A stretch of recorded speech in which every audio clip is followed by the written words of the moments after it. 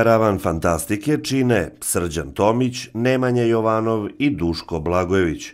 Odvažni GPK punog knjiga prelaze kilometre i kilometre kako bi u svakom gradu koji im otvori vrata predstavili svoj rad – Trojica novih autora rešila je, kako kaže, da iz kafane pređe u auto, a svoje knjige iz magacina mrtvih slova u knjižarama dovede pred živu publiku. Ono što je interesantno za večerašnje, za večerašnje književno veče bilo je to da su tri mlada, tri mlada pisca predstavili svoje knjige koje su prošle godine odnele neke najznačajnije nagrade u toj sferi književnosti u, u Srbiji. I ono što je interesantno i što je mene spojilo sa njima bilo je to da i oni kao i moja organizacija Stara škola predstavljaju e, želju da se kultura približi svim slojevima stanovništva, a posebno mladima. Dakle, pokušavamo da kulturi privučemo neku novu publiku, a teme kojima se oni bave mogu da budu vrlo interesantne, posebno, posebno mladima a, njihova velika spremnost da izađu u susret i da posete ne samo Trstenik, nego i sva mesta u Srbiji koje su spremna da im budu domaćini, ih je negde preporučila i na kraju krajeva i dovela kod nas. Eto, zanimljiv naziv, Karavan Fantastike. E, oni putuju po Srbiji, promovišu ono što rade. E, jedan zanimljiv, reklo bi se, žanr e, fantastike. U zadnjih nekoliko godina u Srbiji je primetan jedan bum kad je fantastična književnost u pitanju. Recimo, ono što sam primetio kad sam bio ove godine, prošle godine praktično na, na sajmu u, u Novom Sadu i na jednoj književnoj konferenciji, da je naučna fantastika, iako je do sada možda bila zanemarena, jedan kako da kažemo, jedan prostor gde se u Srbiji sad pojavljuje sve više i više mladih stvaraca koji rade upravo u tom pravcu. Iako nismo baš e, toliko delotvorni u realnosti, e, spas možemo naći e, baš u fantastici. Pa upravo tako. Ja, recimo, prva epska fantastika koju sam pročitao bio je Mačo Šanare sa nekih možda 12-13 godina, a posle toga Gospodar Prstenova. I od tad je moje zanimanje za fantastiku prisutno i drži me i dan danas sa istom snagom kao u tom praktično detinjstvu. Govornici su nastupili sa zdravom mešavinom prisnosti i profesionalizma. Nisu se bavili prepričavanjem svojih knjiga, nego pravim razgovorom, komunicirajući na izmenično među sobom i sa publikom. Pored romana epske i naučne fantastike, književnici su predstavili autentičan pristup metaforičnom begu iz tamnice kulture na teme tamnica kao metafora, zatvorenosti duše, tamnica kulture kao stanje današnjeg društva, tamnica kao mesto odakle se mora pobeći, tamnica kao metafora književnog dela, prevazilaženje samo utamničenja.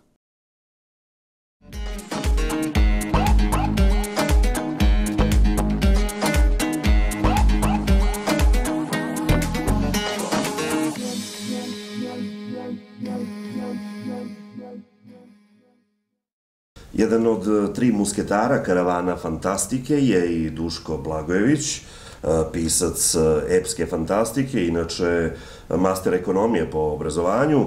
Pa, Duško, recite nam otkud vi u epskoj fantastici i šta vas je to sve dovelo da se na taj način izražavate?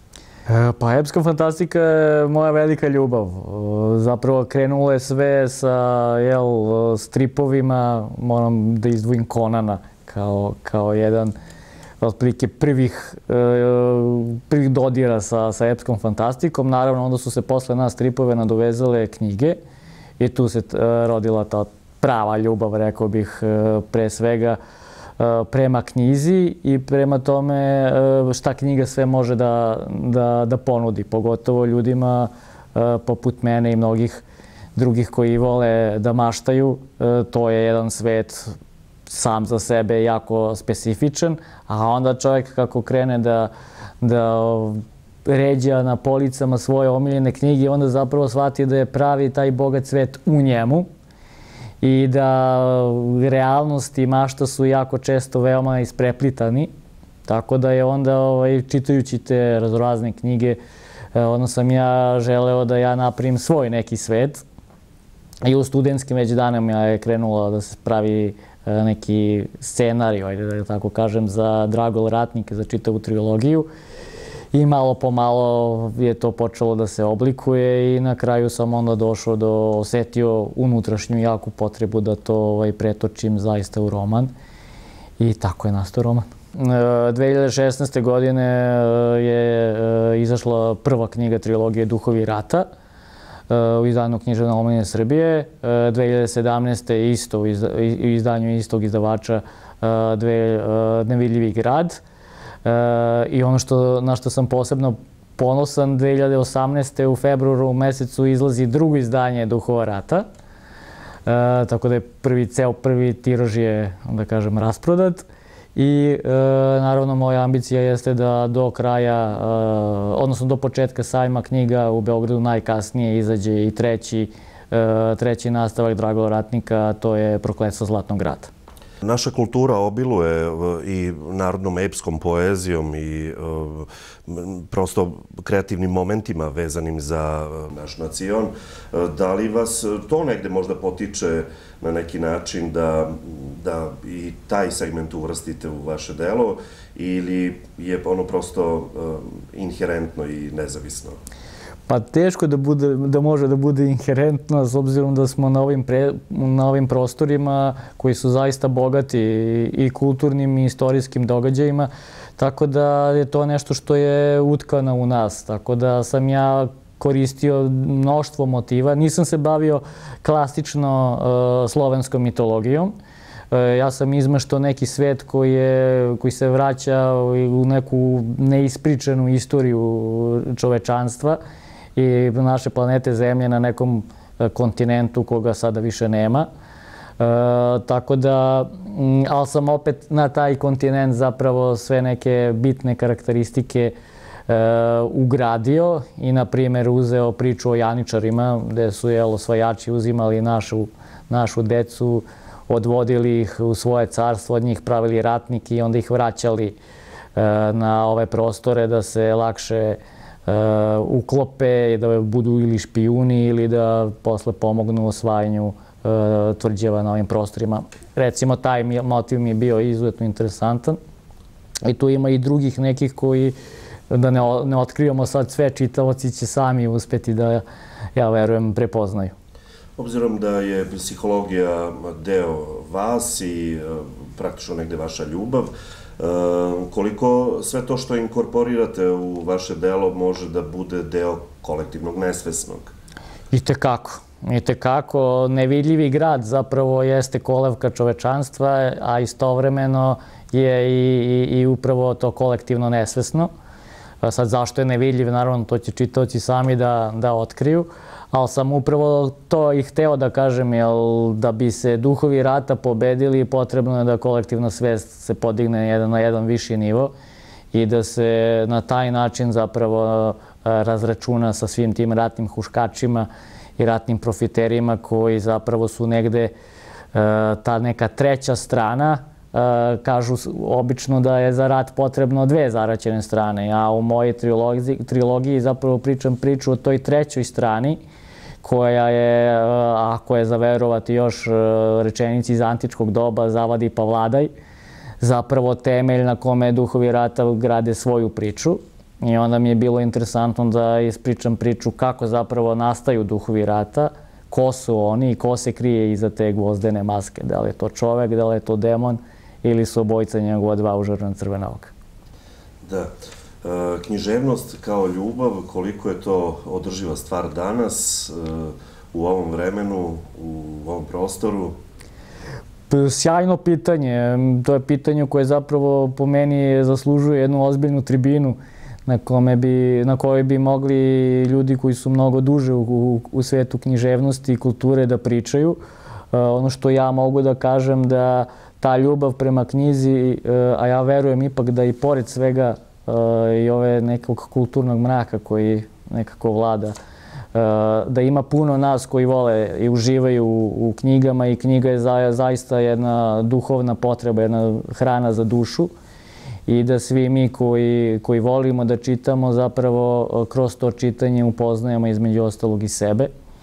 I opet se vraćamo na tu psihologiju i da to nam pomaže da mi budemo i mentalno i psihički i duhovno zdravije osobe i da se razvijamo.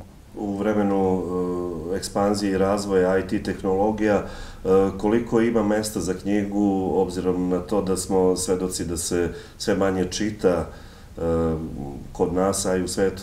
Da.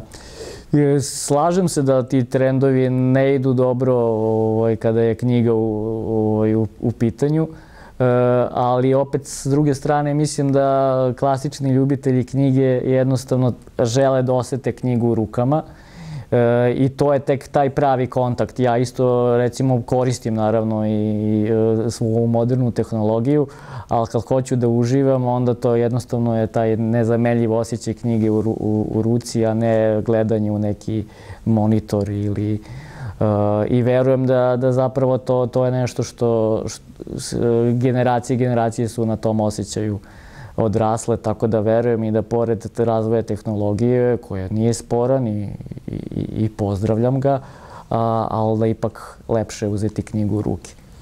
Uh, kao deo karavana fantastike uh, vi sa sobom nosite i neke neobične ključeve. Čemu oni služe?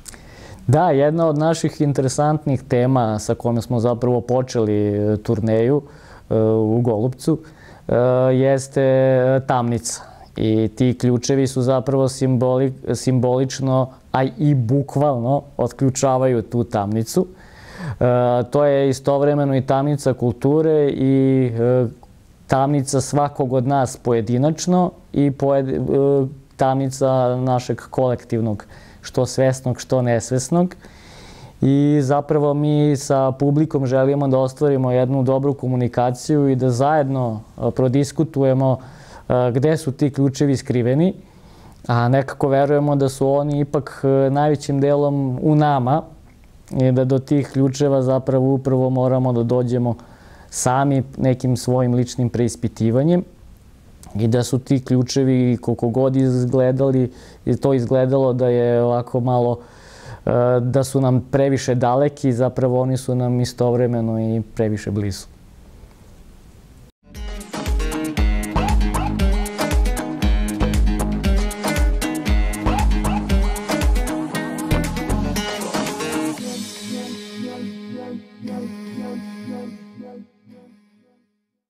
Lepa misija eh, na kojoj ste sa vašim kolegama, misija kulture, eh, misija nečeg novog i lepog.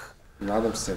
Pa eto, mi smo sa, sa ciljem da, da se susretnemo sa publikom, to je naša ideja, mi kao pisci smo se udružili, između sebe razmenjujemo ideje, eh, donekle komuniciramo s publikom, ali u stvari pravi cilj ovog karavana fantastike je da publika počne između sebe da komunicira o našim delima, to je neki ideal pisca, da, da, da mu delo bude dovoljno čitano i da izazove neku reakciju kod publike i da onda ona između sebe o tom delu i komunicira. E, biti pisac danas nije ni malo lako, ni jednostavno. Ovaj, to podrazumeva mnogo stvari e, od e, toga da čovek ima poprilično slobodnog vremena, a i nadalje da sve sam i uradi. Tako je.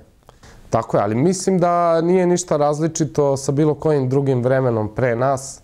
Mislim da tu ovaj, književnost upravo i pomaže da se shvati da je ovo vreme samo jedno od i da je bilo i težih vremena, tako biti pisac. Mislim da je danas u smislu objaviti knjigu verovatno lakše, ali imati vremena i raditi to onako kako treba jednako teško kao u bilo kom periodu pre nas, pa možda čak i lakše. U tom smislu treba, ovaj, treba zapeti raditi, pa ja se nadam da će biti nekih rezultata. Evo, vi se bavite modernim bajkama. Ovaj, Tako je. Vaš prvenac, Kolevka snova, zakupio je veliku pažnju i e, doneo jedno novo viđenje, e, makar onog, e, onog drugog sveta. Hvala vam na tim lepim rečima. Ja stvarno nadam da je tako. Ja sam pristalica tog, kako bi rekao, klasičnog žanra epske fantastike.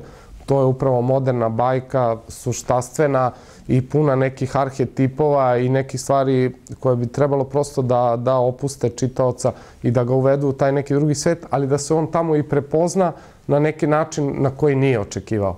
I to je, e, to je negde ona prava, dobra zamka i žanra i književnosti uopšte, da se čovjek saoseti sa junakom književnog dela u situacijama koje nije pretpostavljao i gde se nije nadao i prosto na taj način se šire i vidici, ljudi se i obrazuju e, na jedan lep i zanimljiv način. Ja sam to pokušao da uradim, nadam se da će gledalci možda i doći do primjerka knjige, bit će ovde u gradskoj biblioteci u Trsteniku, i da će sami uveriti da sam bar delimično u tome i uspeo.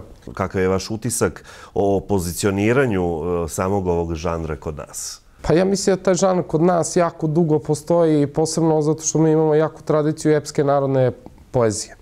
I sa takvom tradicijom ne bi mogao nikako da kažem da je to sad nešto novo, naprotiv, kod nas je to baš ono nešto staro. I ima nekih i od Zmaje Jovanovića, ima nekih vrlo zanimljivih pesama kao što su Tri hajduka koje su pune elemenata fantastike. Tako da se, eto, to su neki, ako bi mogla da kažem, svetli uzori na koje ja pokušavam da, da stremim ka njima. A moderna ta epska fantastika, ona je prilično žarnovski segmentirana i ono što meni smeta i što mislim da je pogrešan put, ona pretpostavlja ono što čitaoci očekuju i žele da vide i sad u ovom komercijalnom smislu baš pokušava to da im pruži a to je ono o čemu sam malo čas govorio, ne treba pružiti čitavac ono što on očekuje. Naprotiv, i zato ovaj žanr može da bude kvalitetan i može da bude za svakoga za što on baš treba da iznenadi i da povuče na neki lep način. I ja se nadam, posebno za mlađu populaciju, da bi oni mogli možda malo više da se pozabave tim žanrom, ali u onom pravom smislu, jer će ih on i povući u čitanje uopšte, što mislim da je danas jako važno i prosto nam sad treba za tu mlađu generaciju nekih par finih stepenika da, da ih ubacimo u književnost, jer mislim sada koliko mlađe generacije imaju pažnje i kako su zatrpane informacijama, malo im treba, treba ih blago oćušnuti i ja mislim da na, na tom tragu se treba okrenuti tim nekim žanrovima koji će im možda u određenim godinama biti primamljivi. Ovo je svakako dobar put. E, Nadam da... se mladi ljudi se više okrenu književnosti u eri IT tehnologije. Tako je. A primetno je i to da ovaj, na vašim gostovanjima mladi e, poprilično lepo reaguju na ono što vi pišete. Pa ima mladog sveta. Ja sam generacijski negde tačno u sredini, tako da sam skoro zaboravio kako je meni bilo u školi. Moja deca su tek krenula u školu, tako da negde sam malo izgubio, ali evo ovo su mi prilika sad da vidim taj mladi svet i da vidim da u stvari pravog onog autentičnog interesovanja ima. A možda nema sadržaja. I evo mi sad e, trudimo ne protiv bilo čega, nego za ovaj sadržaj koji mi nudimo. I to je neka, ajde, neću sad da kažem misija, ali to je naše htenje, želja, da mi ponudimo mladim ljudima, gde god ih nađemo i kad oni odvoje vremena da dođu nas vide, da im ponudimo neki sadržaj za koji smatramo i mislimo da će ih bolje služiti tokom celog života. Jer jednom ako se dohvatite knjige, to je navika koja se teško iskoreni. Ali treba je steći. I evo sad, kroz ovakva dela, koji imaju neke elemente koji su možda mlađoj publici okrenuti, otvoreni, možemo da ih privučemo u svet knjige i verujem da će onda otkriti veliku tradiciju i književnost srpsku, gde će sigurno imati do kraja života da, da se zanimaju i velikim imenima i izuzetnim delima. Je li to vaš ključ za otvaranje tamnice kulture? Pa ja se nadam da jeste. Da, možda ne moj lični, ali u tom nekom odnosu sa publikom zaista se nadam da je tako. Da, da probamo, da ih, da ih privučemo, možda nekim novim pristupom, novim nastupom, spremnošću da svuda dođemo, da gostujemo, da odvojimo vreme i da u tom nastupu budemo krajnje, krajnje iskreni i otvoreni i za njega se ne krije nikakav naš specijalan interes, osim da, da se sa tom publikom u tom nekom vremenskom intervalu sastanemo i porazgovaramo. I mislim da to publika prepoznaje tu iskrenost i da je to važno da se iza toga ne nudi ništa drugo, niti se nudi, niti se podmeće. To što imamo, mi dođemo, komuniciramo s publikom, ponudimo i nadam se da se nekom delu publike to i dopadne. Da li spremate nešto novo? Radim sada na nastavku, ja tu pišem na našem plakatu i to je moja neka ideja da napravim sagu Tačno sad koliko će to delova biti, ne znam, malo mi smeta, sad su uvek govori trilogije, ovako, onako, ne znam tačan format koji će biti, ali svakako se trudim i radim na nastavku i u tom radu na nastavku je moj ključ za tamnicu kulture, jer mora i malo i da se radi. Ne može samo da se priča. Inspiracija ne manjka? Nikako.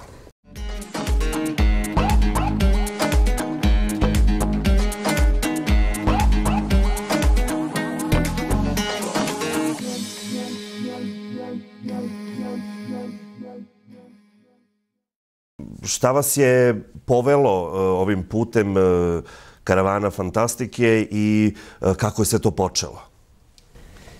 Ja volim da kažem da sam jedan stvaralac i to u tom nekom romantičnom smislu e, nekog renesansnog viđenja čoveka, to je taj e, homo universalis, odnosno čovek koji kada stvara, stvara na bilo kom polju koje mu dozvoljava da se izrazi. E, stoga je Karavan Fantastike ovako modernistički gledano jedan projekat, ali dubinski posmatrano, onako kako ga sva trojica doživljavamo, to je zapravo jedan stvaralački pohod kroz koji mi e, probamo da uspostavimo taj e, malo poljuljeni, neću reći srušeni, pošto je pesimistično, ali malo poljuljeni most između publike i stvaralaca. E, zaista, u današnje vreme postoji jedan veliki jaz koji se produbljuje i ukoliko ne uradimo nešto po tom pitanju, on će jednostavno otvoriti rascep koji će razdvojiti publiku od, od stvaralaštva i e, prosto devalvirati svaki iskreni pokušaj da se nešto, da se nešto stvori i mislim u najlepšoj e, želji ostavi za buduće pokolenje. U vašoj misiji kulture, na Karavanu Fantastike, na projektu, kako ste rekli, e, ste sa svojim prijateljima i kolegama, sve radite sami, obilazite zemlju, promovišete svoj rad, radite jednu interaktivnu varijantu prezentacije, osluškujete publiku, Šta vas je spojilo sa kolegama, šta je to vaš zajednički imenitelj i otkuda takva ideja da prosto krenete ovaj, na put po Srbiji, da, kako bi rekli, to što imate? Nije legenda da u, na ovim prostorima dosta stvari počinju u kafani.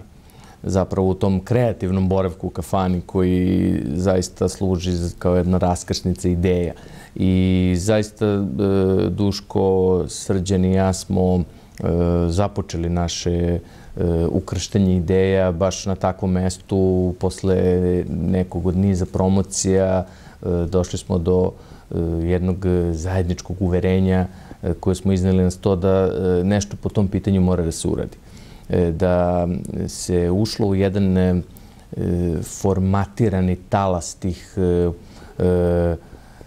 jednosmernih promocija gde se pročita jedan e, pasus iz dela, gde se autor predstavi biografski i bibliografski. Pri tome e, mi niti smo autori koji imaju bogate bibliografije, niti smo autori koji imaju bogate biografije.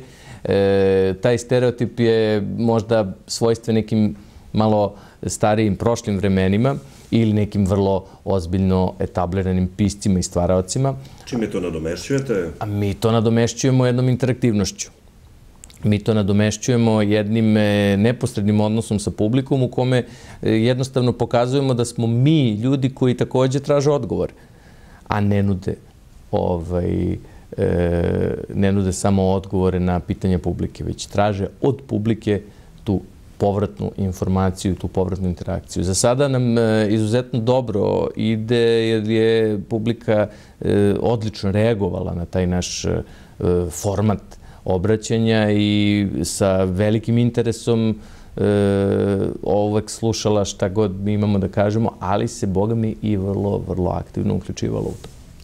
Ono što vas spaja sa Srđanom i Duškom možda jeste i uh, sam žanr, žanr, uh, eto da se tako izrazim, ili prosto uh, vrsta forme ovaj, koju e, obrađujete u svom e, književnom delu? Svakako da je e, taj fantastični moment, spojni moment, neki imenitelj zajednički koji, koji nas spaja. Duško i Srđan su više, da kažem, naginju toj epskoj priči, a više toj naučno-fantastičnoj, mada nikada se niko od nas nije E, deklarisao da će izostati iz ove druge kategorije.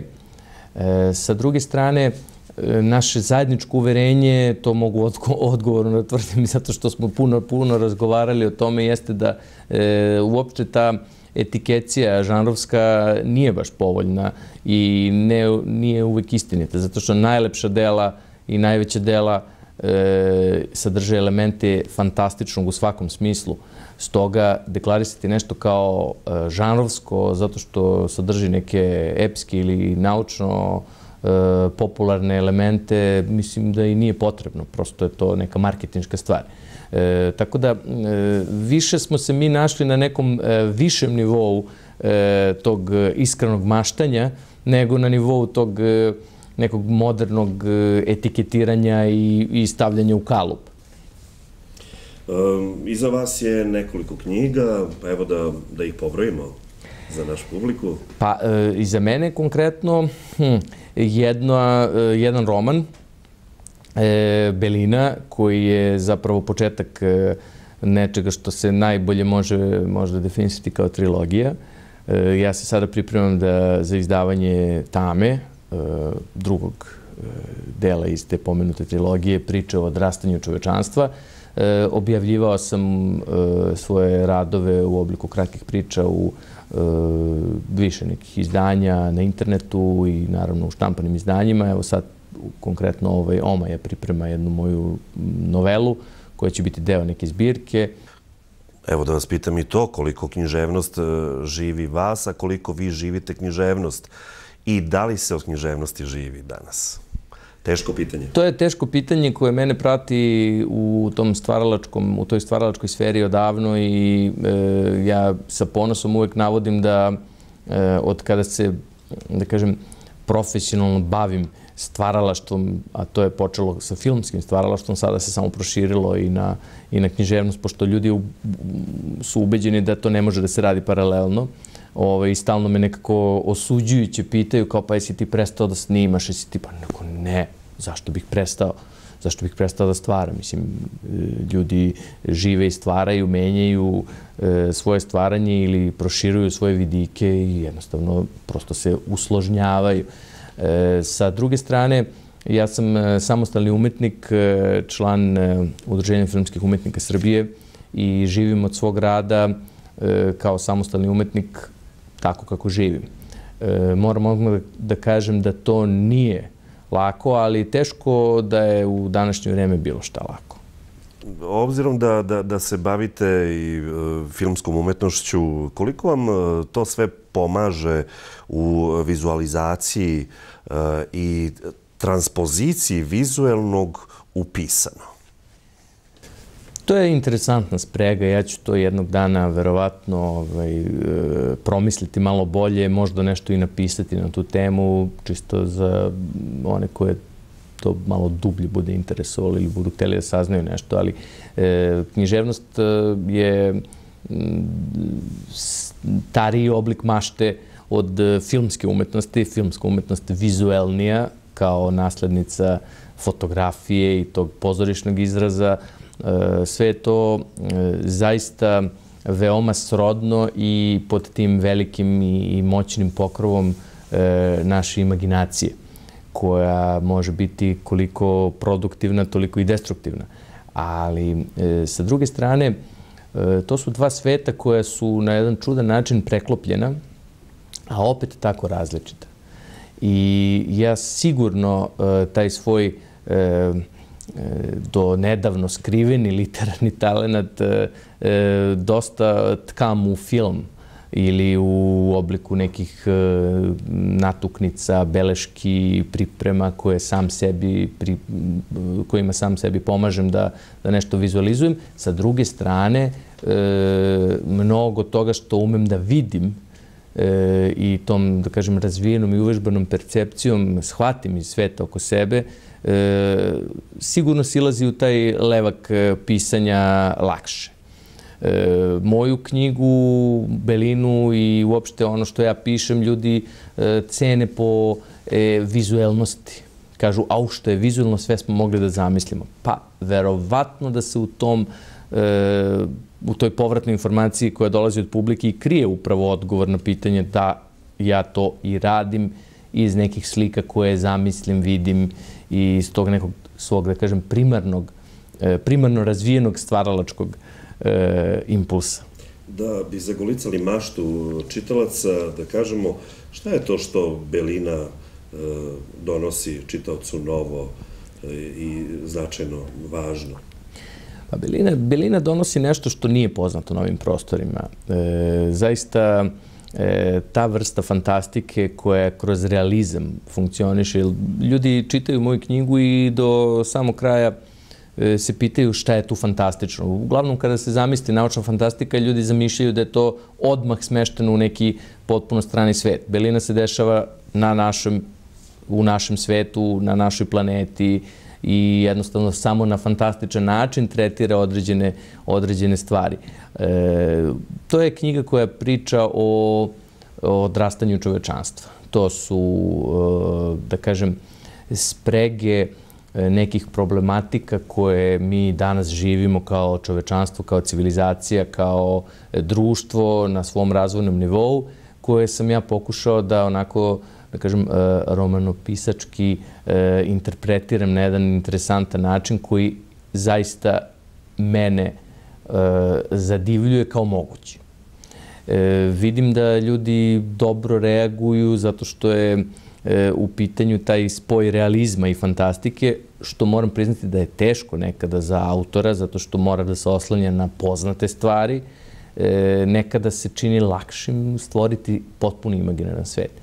Ja sam u svom drugom delu, koji upravo sada uh, završno sređujem, uh, otvorio neke nove uh, poklopce te Pandorine kutije i tu sam zaista iskusio kako izgleda stvoriti imaginarni svet koji se naslanja na naš u nekom smislu druge dimenzije.